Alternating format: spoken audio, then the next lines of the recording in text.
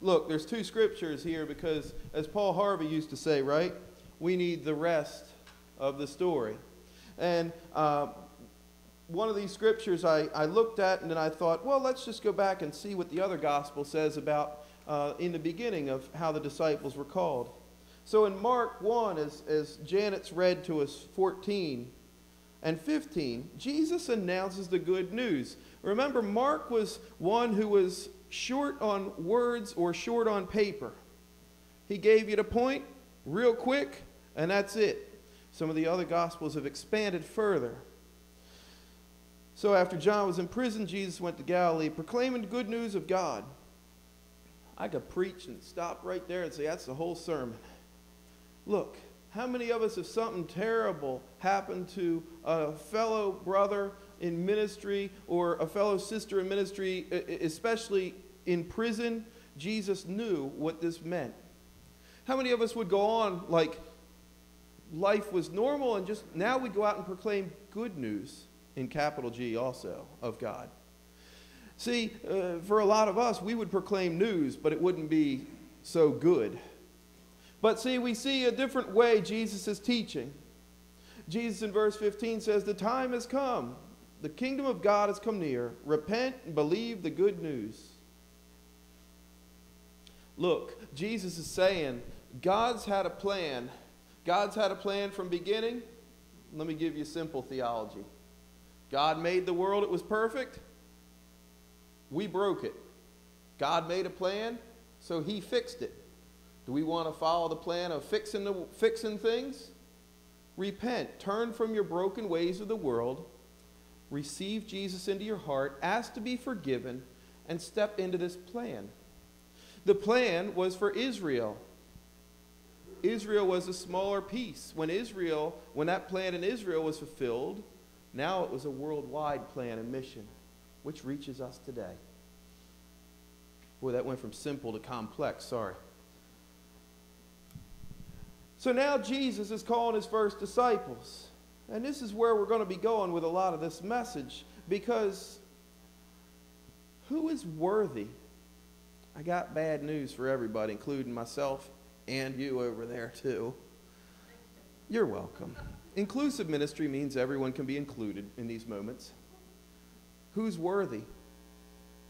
None of us are worthy. None of us are worthy by worldly standards to be anything. All of us are sinners. I, I was corrected uh, last week in, in online class, fact, right here. Uh, the teacher asked a question. The teacher said, So what? So what happens? The professor said, So what happens after we preach the message in the church? I just thought it was a good, fun moment. I typed in, we all leave and keep on sinning like we didn't go to church. He made me turn my video camera on. He made me look him in the eye and he tore me up for about five minutes virtually with everybody in the class watching. He reminded me that we're all sinners saved by God's grace. He didn't know it. I believe this. I thought it was a fun moment to say something funny. I won't do that again. At least in the near few days, hopefully. So, Jesus now, is, as I've been reminded of God's grace this week, Jesus walked behind, beside the Sea of Galilee. Sea of Galilee was not like uh, going to a cruise port, right, where it was this beautiful place. It might have been like going to one of those places where they don't let you see what's happening at the port by the sea because they want to take you somewhere nice. So Jesus is here, and he sees Simon and his brother Andrew fishing because they were fishermen. Jesus went by to stop by the fishermen to invite them to be part of this ministry. Now, fishermen, have you ever heard those words like as rough as a sailor?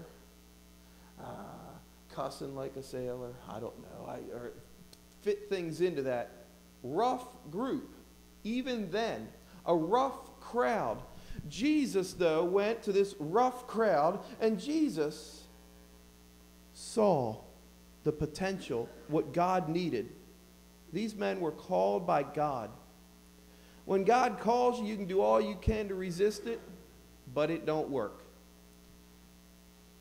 Another day we'll preach a couple sermons on Jonah.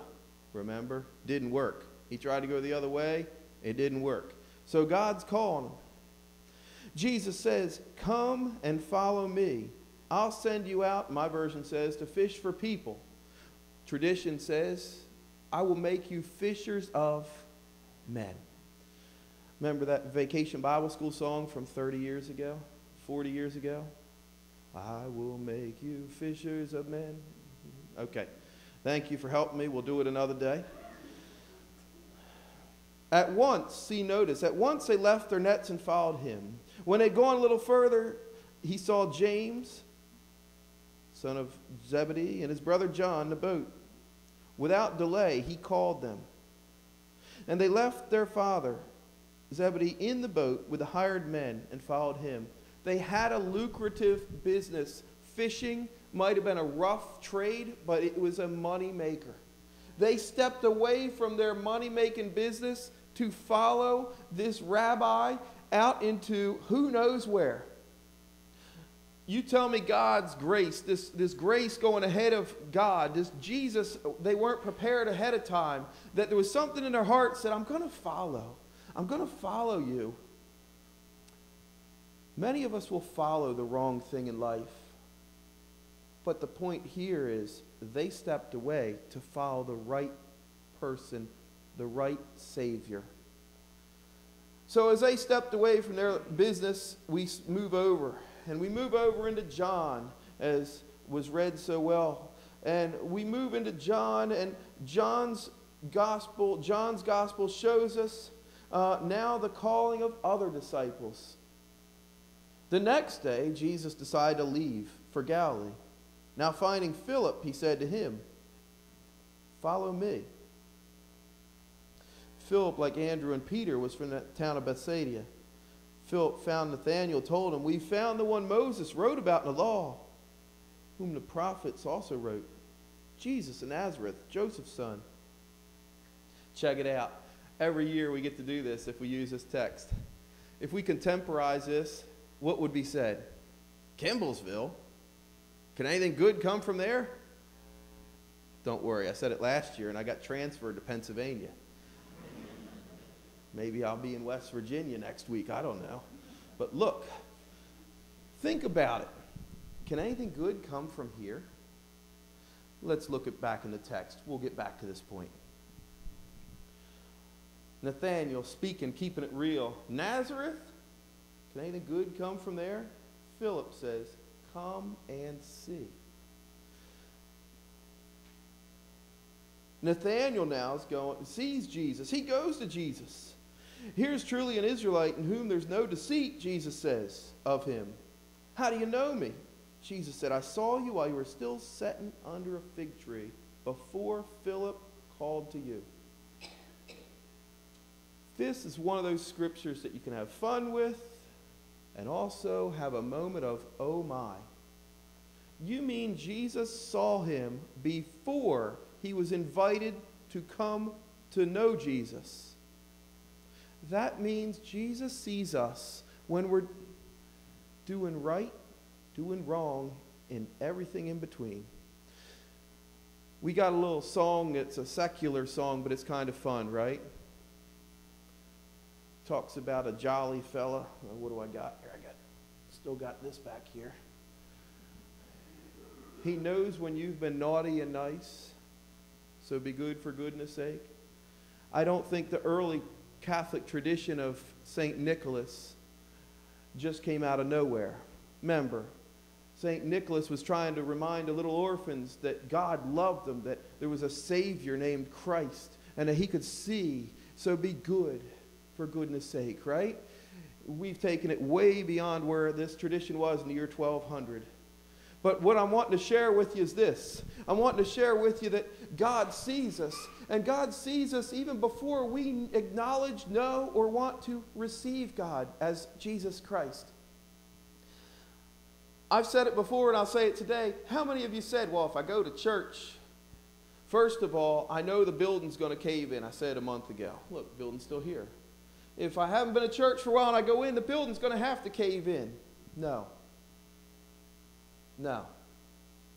You don't have that kind of power to tear down a building by your presence. God knows what's already been done in our past. God knows what's been done today in our hearts in the last five minutes.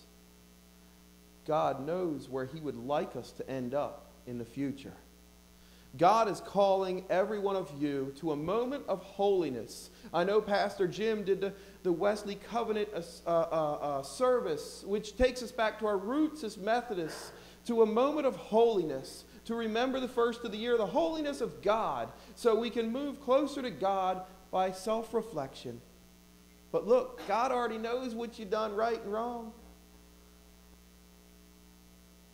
All of us are sinners. I've been directly reminded of this this week. What I want you to know is this the love of Jesus Christ can transform anything, any community, and any person. And the love of Jesus Christ is what we're here for. We're not here in this church and this setting because we want to keep the lights on, keep the parking lot clear, and just have a place in the community. Look, the abandoned gas station next door has as much value as just a building. This building, yes, I would like for us to keep the lights on. But what our number one mission is, is this. Our number one mission is to be a place of reconciliation so people can come to know Jesus, come and have their lives changed, transformed. And so that when they're transformed, now you want to be like these tough and rough crew. You want to follow the Savior and you want to model your life after the rabbi, Jesus Christ, the Savior. You want to model everything you do. And you want to model your thoughts after Jesus. My thoughts are no longer my thoughts, they are your thoughts. We want to be able to have our thoughts after God Himself. And we want to be able to take that message to the world. See, first of all, you repent. You ask God to forgive you. Receive Jesus. Then what we got to do? We come to church, find a pew, write our name on it. Wait a minute, that's just what we do. Biblically, what we do is we receive Jesus, we come to know God, we walk a little deeper by reading the Bible, by getting connected with others.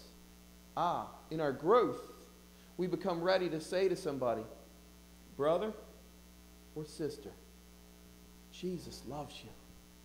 My life's been changed. And they say, I don't need that. And what do you say? Come and see. Come and see. You might say, Come and see the pastor. He sings off key every week, but he keeps trying. Come and see that none of us are perfect in this church. Come and see that some of us wear fancy clothes and others just have clothes. But we worship together. We love the Lord together. We know that God is wanting us to walk that path with Jesus that walks us to a little bit further of holiness, a little bit more sanctified day after day. God don't want his church to be empty and broke either, folks.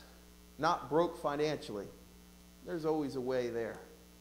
God don't want his church broke spiritually. Don't walk around defeated like the devil done beat us up and ruined everything because that is not Christian salvation.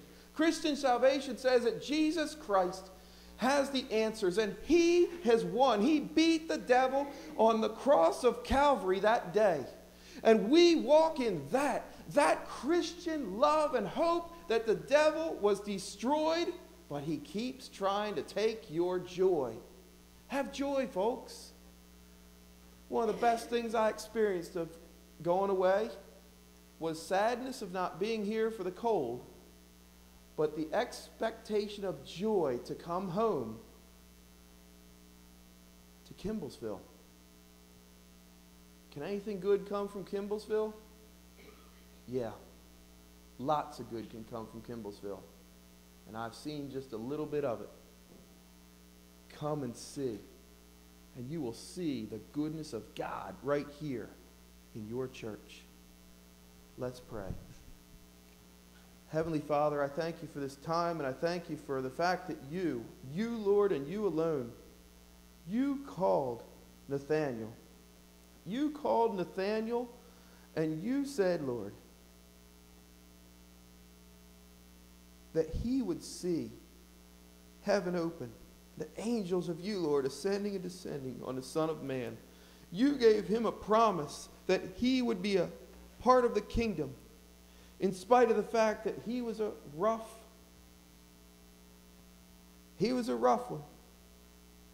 He was a sailor, he was a fisherman, and he was there in the community. And no one ever thought Nathaniel would do anything, and he never thought anything of Nazareth. But my, my, Lord, how things changed. Lord, how you are to change each of us, how you are to sculpt us to become closer like you so we can be part of this church, so we can have our lives changed also. I pray and thank you in the name of Jesus Christ. Amen.